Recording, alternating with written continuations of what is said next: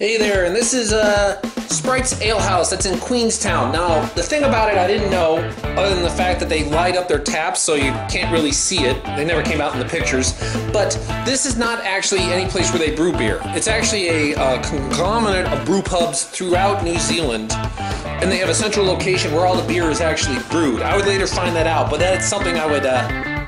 But here I am at another place, which I hope is a brewery, the Speight's Ale House. Oh, if I'm wrong, I'm gonna be disappointed. Hopefully this I'm for good luck. Oh, so that wasn't recording.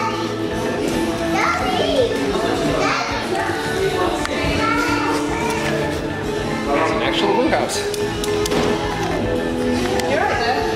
Yeah, fine. I'm after food. Summit Lager. Definitely really refreshing, really good. This is really up New Zealand alley. Good stuff. Surprised what I found here.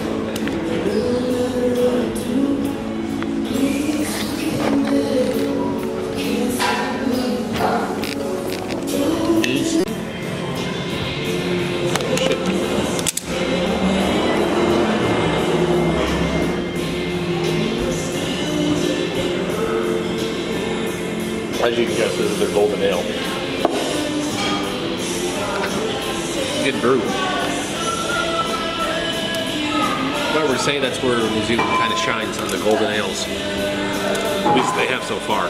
Everything's been really good quality. Good malt flavor, good flavor to it. The only real downside, cricket.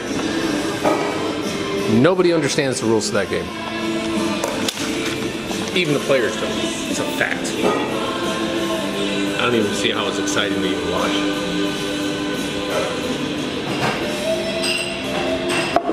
But the golden ale is something good. It's named for the color.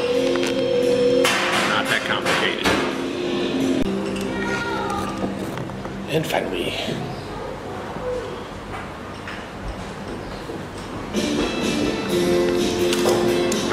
This is their Empire IPA.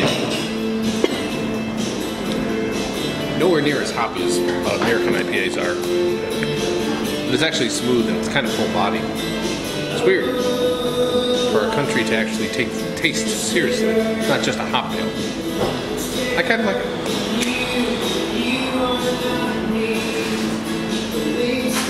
It's, I think it's a better way to think of IPAs. That the alcohol's not that strong we call it sessions in the United States. Nice to see a different take being done on these things.